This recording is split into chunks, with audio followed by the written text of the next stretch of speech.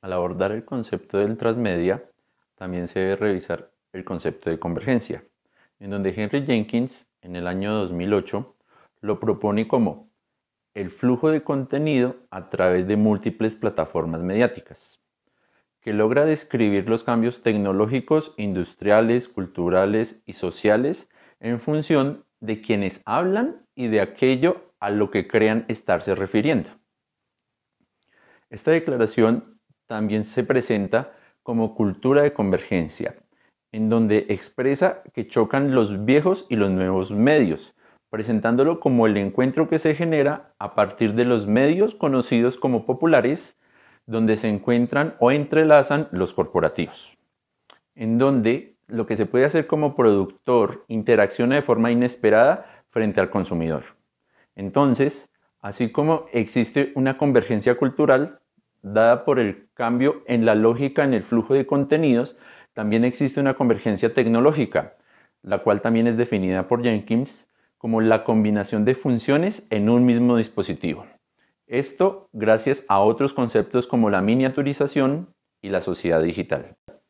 Una manera de resumirlo es entender que el concepto de convergencia está planteado desde dos perspectivas. La primera, la digitalización tecnológica, que a través de su evolución avanzada ha permitido la aparición de tecnologías y dispositivos que brindan multifuncionalidades a los usuarios. Y la segunda, el proceso de comunicación en todo nivel que replantea los medios y la forma de uso de los mismos.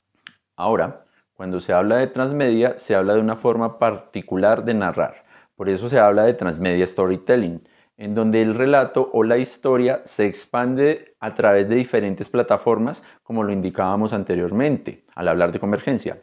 Pero aquí no solamente nos referimos a plataformas mediáticas, sino que se deben incluir diferentes sistemas de significación verbal, icónica, audiovisual, interactiva. Y la relación de medios como el cine, el cómic, la televisión, los videojuegos y las posibilidades que brindan frente a la interacción y ante la creación de contenidos, en busca de la continuidad de la narración,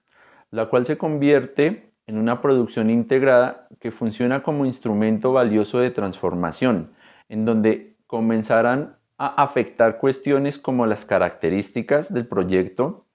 que se pretenda realizar, los objetivos a cumplir,